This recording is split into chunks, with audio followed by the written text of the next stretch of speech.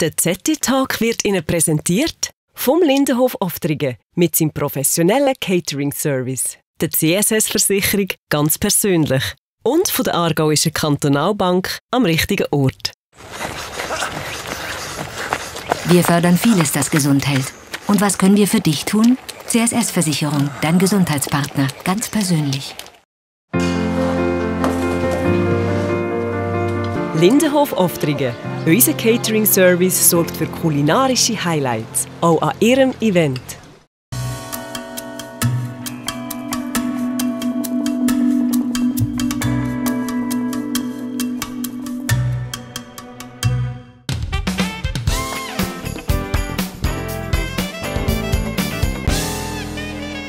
Zum zweiten Mal dieses Jahr treffen wir den obersten Aargauer Wirt zum ZT Talk. Herzlich willkommen. Und zum zweiten Mal ist der Anlass nicht erfreulich. Die Pandemie wütet weiter und die Restaurants und Bars leiden massiv. Unser Gast ist Präsident von Gastro Aargau, respektive wir sind seine Gäste. Er führt den Traditionsbetrieb Hotel Krone in Arbig, wo wir heute mit dem ZT-Team zu Gast sind. Herzlich willkommen, Bruno Lustenberger, und danke vielmals, dass Sie Zeit für uns haben.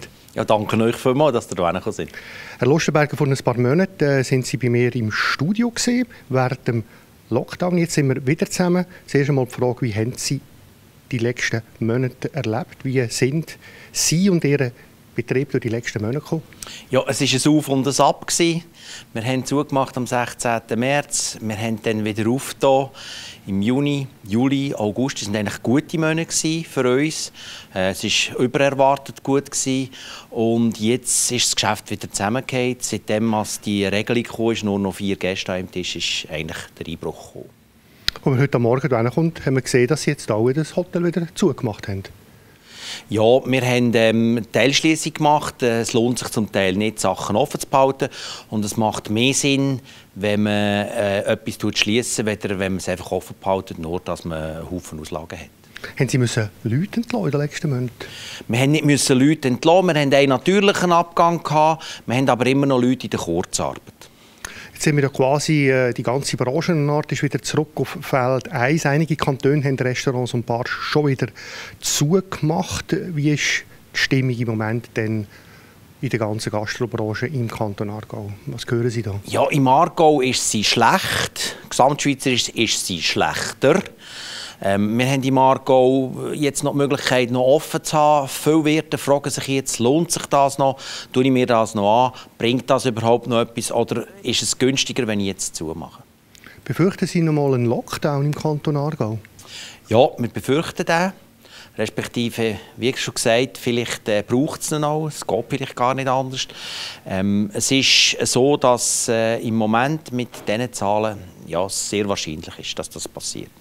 Der Präsident von Gastro Suisse, Casimir Platzer, hat sehr alarmiert tönt. Er hat gesagt, das Gastrogewerbe steht kurz vor dem Kollaps. Laut einer Umfrage bei 3400 Gastrobetrieben droht rund 45 Prozent innerhalb der nächsten Monate die Schließung.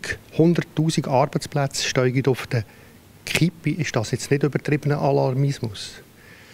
Wenn jetzt die Situation so weitergeht, wenn das Wintergeschäft noch so nicht stattfinden kann, wenn die Firmenanlässe nicht zurückkommen, dann ist das absolute Realität. Und wir sehen es jetzt schon in den Städten. In Genf, in Zürich, in Basel gehen schon viele Hotels zu. Äh, es gehen Restaurants zu, Pubs sind schon zu. Was heisst das ein bisschen konkreter jetzt für den Kanton Aargau? Können Sie uns sagen, wie viele Beizen und Bars haben denn jetzt schon dicht gemacht und was erwarten Sie? Wie viele sind, sind gefördert, wenn das so weitergeht?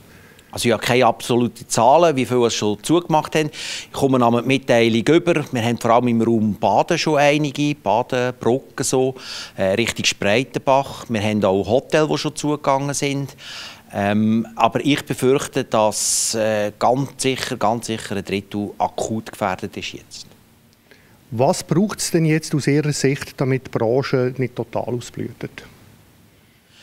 Ähm, eben, wie schon gesagt, vielleicht ist ein Lockdown jetzt im Moment die bessere Lösung. Da kann man total runterfahren, da kann man über Bücher gehen, kann schauen, was macht noch Sinn.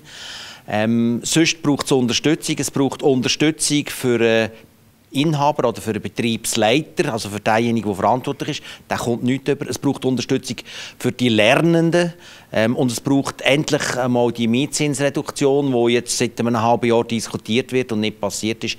Die drei Sachen müssen nachhaltig und schnell passieren. Es gibt auch äh, zu der so umfassenden Hilfe gibt es auch kritische Stimmen, die sagen, äh, zum Beispiel Kurzarbeit und staatliche Überbrückungskredit halten auch Restaurants und Bars über Wasser, die auch ohne Krise hätten müssen schließen das kann ich so nicht äh, beurteilen, aber eins ist ganz sicher, wenn die Restaurants zugehen, dann werden die Mitarbeiter arbeitslos, dann gehen sie aufs RAF und dann kostet es genau gleich viel. Mit der Kurzarbeit haben wir aber die Chance, dass die Betriebe doch noch über die Runde kommen und das wäre volkswirtschaftlich gesehen viel die günstigere Lösung.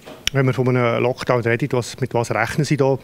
Vielleicht einen Monat oder so oder vielleicht sogar bis Ende Jahr, dass das plötzlich ja, es sieht jetzt so im Umfeld aus, vor allem auch in den ausländischen äh, Staaten sieht es so aus, dass äh, in der Regel so bis Ende äh, November ist.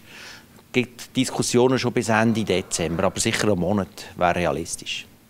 Wenn man jetzt noch ein bisschen äh, zurückschaut und vielleicht wieder vorher schaut, welche Geschäftsideen haben denn in den letzten Monaten funktioniert? Also der Sommertour hat vor allem äh, Ferienhotellerie profitiert.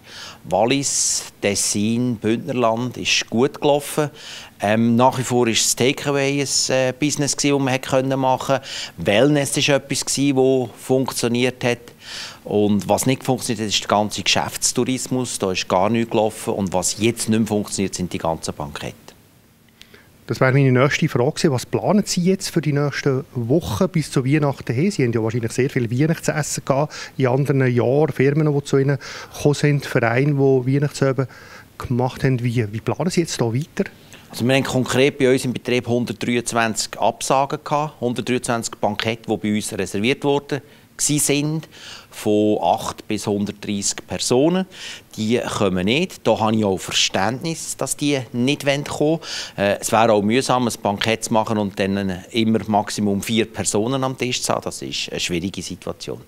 Ähm, was wir planen, ist, den Betrieb eben so weit runterzufahren, dass wir die Kosten können optimieren können, dass wir möglichst wenig Kosten haben.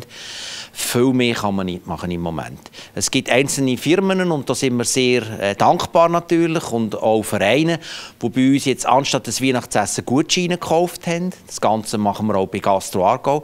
Sehr erfolgreich und das ist ein gutes Kompensationsgeschäft, vor allem auch für nachher. Besonders heftig hat es so Bars und Disco getroffen, die haben eigentlich gar nicht mehr gehabt die letzten Monate. Wie steht die Situation? Ja, die Situation ist mehr als angespannt. Also, das ist eine ganz schwierige Situation. Die haben eigentlich seit Anfangsjahr können die ihr Geschäft nicht mehr wahrnehmen. Ähm, die müssen total unterdurch. Äh, es gibt Betriebsschließungen, die sind wirklich, die sind wirklich nicht zu beneiden. Also, denen geht es schlecht.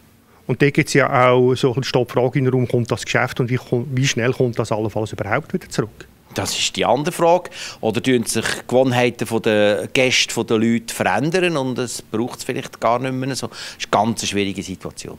Apropos äh, Gewohnheiten der Gäste, haben Sie diesbezüglich schon etwas beobachtet? Ja, was wir feststellen ist, man gibt eher mehr Geld aus. Also man ist eher äh, äh, bereit, ein teures Menü zu nehmen, das ist das eine. Äh, das andere ist, man kommt in kleineren Gruppen. Äh, ist natürlich jetzt Verständnis, äh, das Verständnis so da von den Gästen, dass man sagt, ja, Maximum noch vier Gäste und da tun sich Gäste daran halten. Jetzt eine besondere Situation haben wir ja bei den Lehrlingen. Die sind ja von dieser Kurzarbeit ausgenommen. Es steht da nicht ähm, ein, ein grosses Problem mit der Lehrlingssituation. Also das kann jetzt, das kann jetzt explodieren sogar. Äh, Problematik ist, dass die Lehrlinge nicht der Kurzarbeit können angemeldet werden Wenn jetzt ein Betrieb zutut, dann gibt es nur eine Möglichkeit, den Lehrling eigentlich in die Ferien zu schicken. Viele haben aber die Ferien schon bezogen und dann werden sich sicher äh, viele Betriebe werden sich überlegen, was machen wir jetzt. Ähm, die Situation ist auch so, dass man dann vielleicht für das nächste Jahr eben keine Lehrling mehr einstellt und das könnte auch verheerend sein. Wir haben dann die Schulabgänger und eigentlich appellieren wir appellieren, wieder Lehrlinge einzustellen stellen. Aber eben, wenn es dann nicht passt, dann wird das sicher nicht der Fall sein. Und dann gibt es dann einen Einbruch, so wie im Tessin. Im Tessin haben wir dieses Jahr 50 Prozent weniger Kochlehrlinge äh, wegen dieser Situation im Frühling. Und dann möglicherweise langfristiges zweites Problem, dass man dann zu wenig Nachwuchs hat. Das kommt natürlich dazu, oder? In zehn Jahren fehlen uns die Köche. Und äh, wenn ich jetzt im Tessin schaue, es ist natürlich tragisch, wenn man auf der einen Seite die Lehrlinge hat, die wollen Koch lehren, auf der anderen Seite Betriebe nicht findet. Das ist eine tragische Situation. Dann noch eine letzte Frage, Herr Lustenberger. Was wünschen Sie sich so für Weihnachten und Ihren, und Ihren Betrieb? Ja, ich habe eigentlich zwei Wünsche. Das eine ist für die Allgemeinheit, für, für die Bevölkerung, wünsche ich mir, dass wir endlich können wieder schauen können, dass das vorbei ist. Und persönlich, aber natürlich auch für mein Umfeld, wünsche ich, dass doch alle gesund bleiben. Das ist eigentlich ganz einfach ausgedrückt meine Wünsche. Ja, herzlichen Dank, Herr Lustenberger, dass wir bei Ihnen haben, dürfen, zu Gast sein und wir reden wahrscheinlich wieder, hoffentlich irgendwann mal ein bisschen über einen erfreulicheren Anlass. Ja, das würde mich natürlich auch sehr freuen. Danke vielmals und eine gute Zeit. Nächste Woche sind wir mit einem neuen Talk für Sie da, wieder aus dem Studio. Nächste Woche reden wir über Konzernverantwortungsinitiativen. Hoffentlich wieder mit Ihnen. Danke fürs Zuschauen.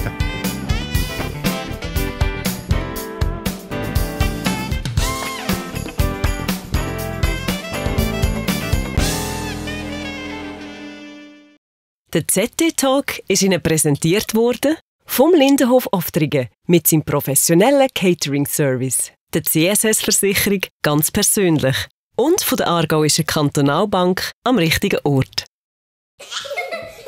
Mami, da. Gesund werden braucht Unterstützung. Und was können wir für dich tun? CSS-Versicherung, dein Gesundheitspartner, ganz persönlich. Lindenhof Oftringen. Unser Catering-Service sorgt für kulinarische Highlights